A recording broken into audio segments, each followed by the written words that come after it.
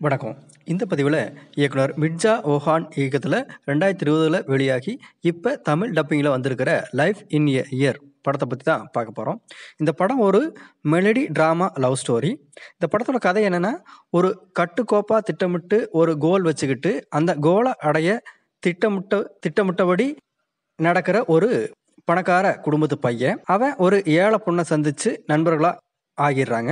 அதுக்கப்புறம் தான் அந்த பொண்ணுக்கு கேன்சர் நோய் இருக்கிறதும் அவள் இன்னமும் ஒரு வருஷம் மட்டும்தான் உயிரோட இருப்பாங்கிறதும் இவனுக்கு தெரிய வருது. அதுக்கப்புறம் அந்த பொண்ணை அந்த ஒரு வருஷம் சந்தோஷமா வச்சுக்கிறதுக்காக இந்த பையன் என்னெல்லாம் செஞ்சான் அப்படிங்கிறது இந்த படத்தோட மொத்த கதையை.